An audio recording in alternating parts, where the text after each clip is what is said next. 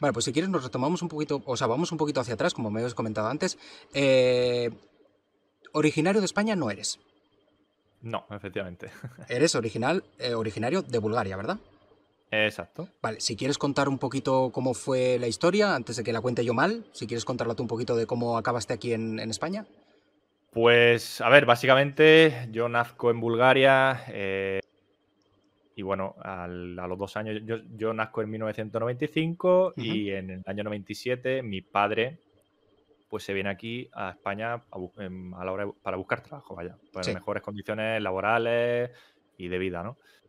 Entonces, bueno, pues eh, desde los dos años que mi padre está aquí hasta los ocho años, pues yo estoy ahí en Bulgaria con mi abuela y con mi madre que digamos que va y viene, ¿no? Durante pues unas etapas por aquí, otra etapa por allá, ¿no? Claro.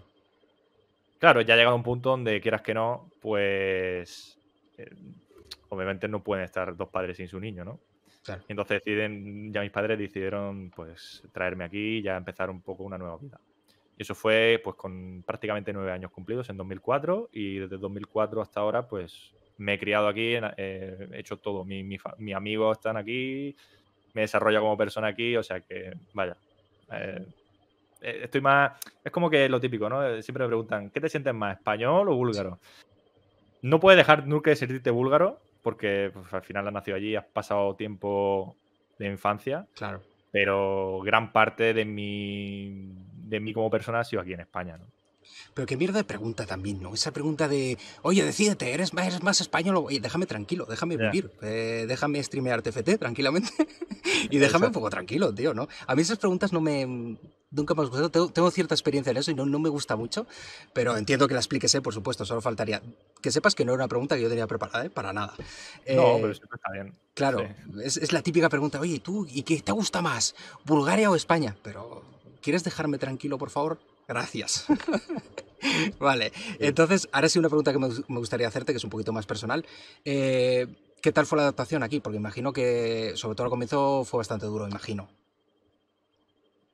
A ver, sí, obviamente no es fácil empezar, digamos que de- dejas a, todo tu, a todos tus amigos de la infancia, dejas a, a abuelos, primos, a Mm. toda la gente allí, y al final vienes aquí a un país nuevo, no sabes nada, no sabes ni papa de español, eh, solo estás con tus padres y no conoces a nadie, ¿no? Entonces, pues obviamente no es duro, sobre todo los primeros meses.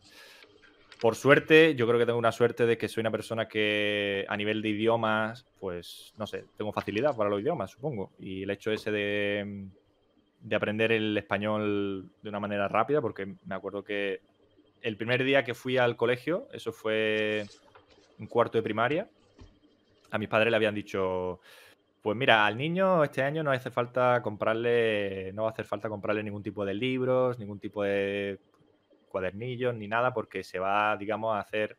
O sea, es un año de adaptación para él Claro. a nivel de idiomas, a nivel de todo, ¿no?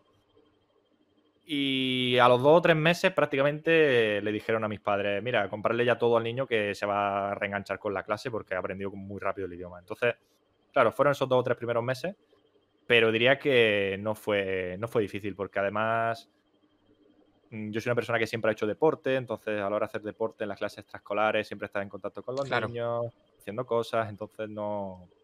O sea, es duro, es duro, pero no lo recuerdo como algo ultra difícil. Ya. Sobre todo, sí, más allá del primero o segundo mes, ¿no?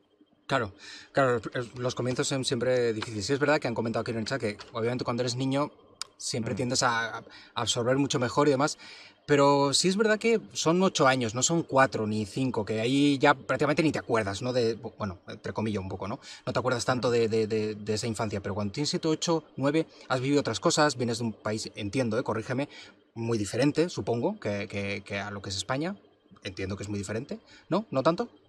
A ver, es, eh, es diferente, es diferente, pero realmente es un país que se asocia, o sea, se le asocia a Bulgaria como un país del este, ¿no? Sí, aquí de una perspectiva más sí, de sí, España. sí, se suele, sí. Pero la realidad es que también es un país del sur, entre comillas, porque, Ah, claro. o sea, del sur.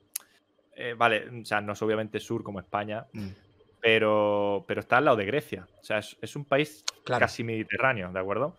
Entonces, sí que es verdad que a a nivel cultural, pues obviamente hay muchas cosas que son diferentes y es verdad que la gente claro, yo, yo lo veo desde el punto de vista ya de España, cuando vas para allá la gente suele ser un poco más fría y tal, pero Mm. son no es tan tan diferente como si, por ejemplo, estamos hablando de un país africano, un país eh, latinoamericano, bueno, latinoamericano no, o asiático, ¿no? Entonces, bueno, pues ciertas cosas te chocan al principio, pero al final acabas eh, haciendo, o sea, no hay tanta tanta diferencia. ¿Y has vuelto en alguna ocasión o no has vuelto nunca? Sí, claro, ¿Sí? sí, eh, sobre todo en verano. He vuelto en Ah, verano. mira. Es verdad que cuanto más pequeño era, como llevaban menos tiempo aquí en España, pues volvías prácticamente cada año. Pero conforme me he ido haciendo mayor, pues al final ha sido todo más cada dos años, cada tres años, porque también es caro. O sea, tú vuelves allá a Bulgaria y a lo mejor en dos semanas o en un mes te gastas bastante dinero, entre viajes, gastos de allí, etcétera.